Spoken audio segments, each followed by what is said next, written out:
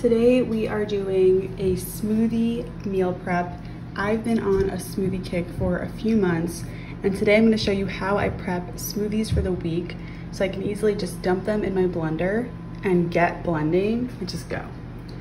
So here are some of the ingredients I'm working with today. We have your classic banana. I'm gonna throw in some mandarins. I have peach.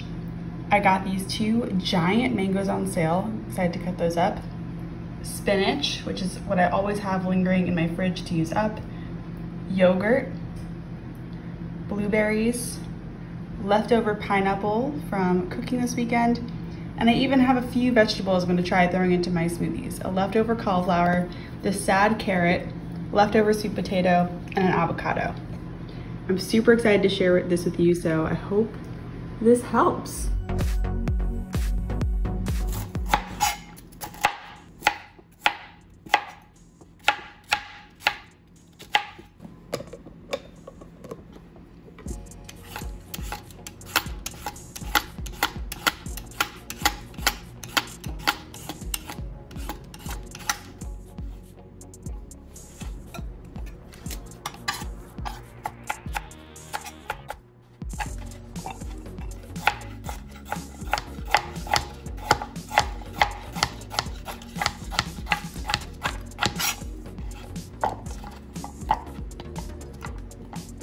So for these, I just stuck them in the microwave with a little bit of water and steamed them. I would never recommend cooking vegetables this way for regular eating or meals. They smell pretty bad um, and they don't, they taste really bland, but at least they're soft enough to put into a smoothie and not go to waste. And I probably won't really taste them, especially the cauliflower. So this is my first time trying this out. I'm really excited to use that vegetables in this way.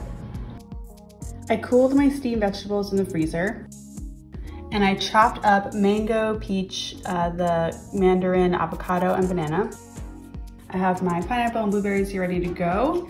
And I also have my jars. So I like to prep my jars and I leave them in the fridge until I'm ready to use them. I found that freezing these doesn't work that well because you have to time it like perfectly right or else you get really watery smoothies, which is not fun, or it's still too frozen to get out of the jar. So if you wanna freeze these smoothie ideas, I recommend using a baggie or a container, which is easier to get the stuff out of than these jars. These are 16 ounce ball jars. You can also use containers. I like doing this because you can pour everything out in the blender and then pour the smoothie back in the jar and drink out of it. So it's also less cleanup for you. Let's assemble these.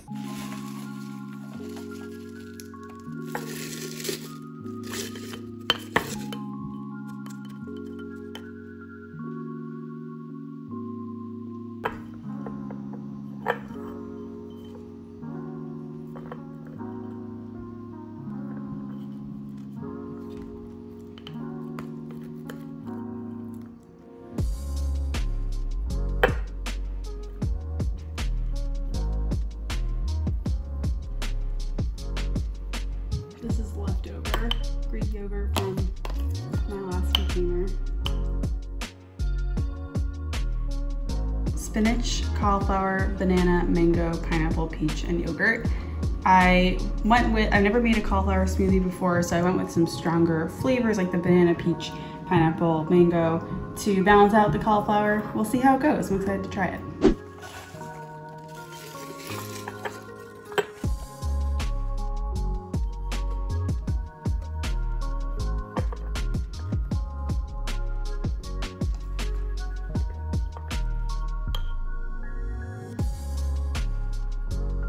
All right, so this one is spinach, cauliflower, banana, blueberry yogurt. I'll definitely be adding honey to this when I make it in the blender. Um, I added more cauliflower because I still have a lot to use up. So again, just gonna be adding cauliflower throughout. But let's see, I think this will be a pretty classic one, like blueberry, banana, and yogurt. You really can't go wrong with these flavors. I'm excited to eat this. So I'm not doing spinach in this one because I just, it's gonna be a lot of vegetables. So I'm using my carrot, sweet potato.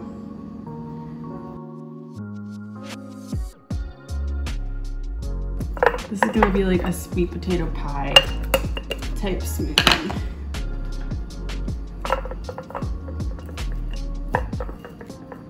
One little leaf of spinach. I might add some vanilla to this, definitely some honey. Right, we'll see how that one goes too. So this is um, cauliflower, carrot, sweet potato, banana, and yogurt. Again, I know, a weird combo, but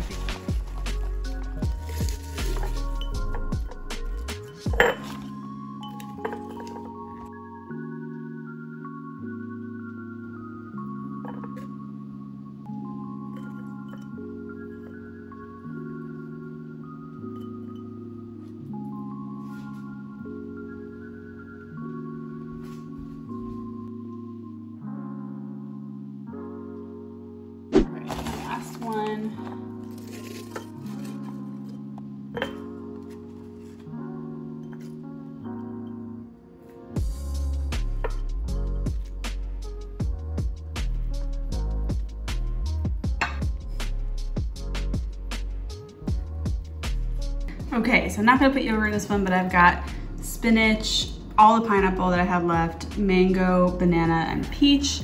It's gonna be really, really fruity. Very excited to try this one out. And that's it.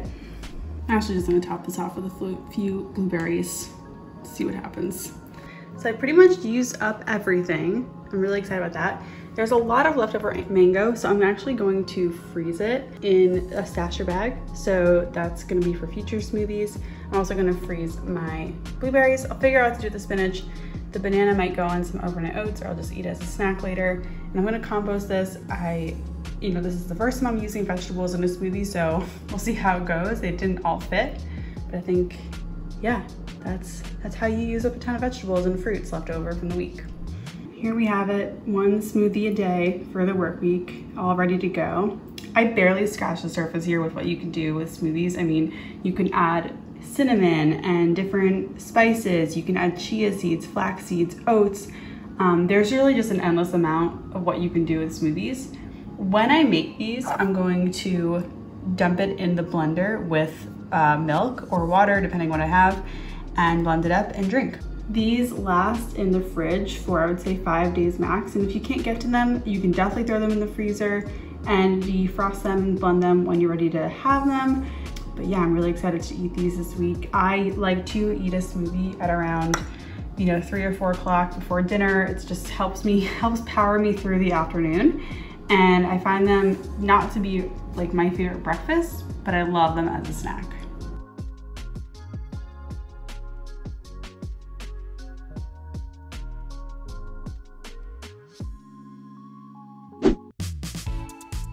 So I'm going to show you how each smoothie blends up. And this is the first time I was trying vegetable smoothies, so I would say I got mixed results. Some of them I really liked, some of them I were kind of grainy and I didn't like them so much, so I need to experiment more. But I would definitely do this again. I'm not turned off from the veggie in smoothie. So if you have any tips, drop them in the comments. This one in particular was a pretty ugly color, but it worked. I didn't taste the cauliflower at all. I'm very excited to try this um, carrot and sweet potato banana smoothie. I'm gonna add some cinnamon uh, and probably some other ingredients to this. Let's see how it goes.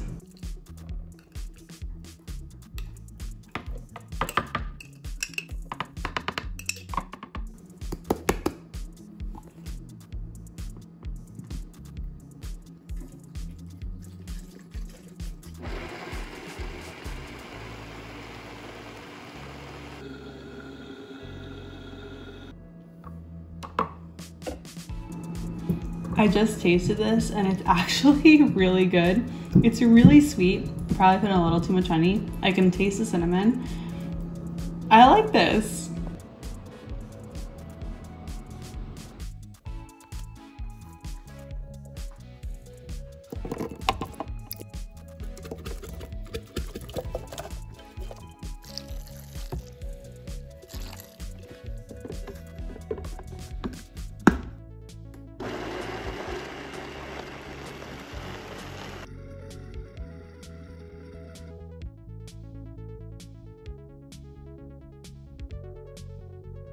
It's not the most appetizing smoothie I've ever made, but it does smell good and it has lots of good stuff in it. So I think that's fine.